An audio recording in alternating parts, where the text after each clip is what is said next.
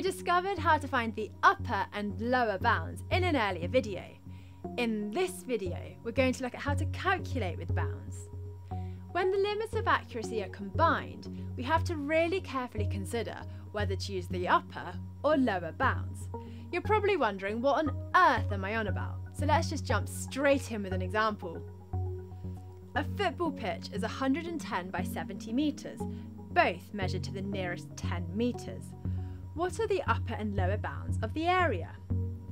Well, this question isn't too tricky. For the upper bound of the area, we need to multiply the upper bounds of both dimensions. And the lower bound of the area, we multiply the lower bounds of both measurements. But what about when we're dividing? For the upper bound, we want a divided by b to be as big as possible. So we want a to be big, which is then divided by the smallest possible b.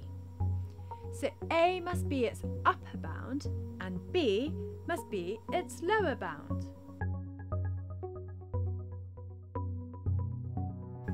Your turn now. Find the lower bound Pause the video, work out the answer, and click play when you're ready. Did you get it right? So here are some questions for you to do.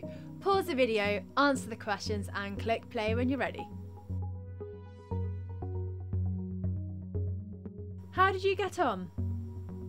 So there we have bounds. Just make sure you take your time to think about what the calculation is asking for and you'll have no problems.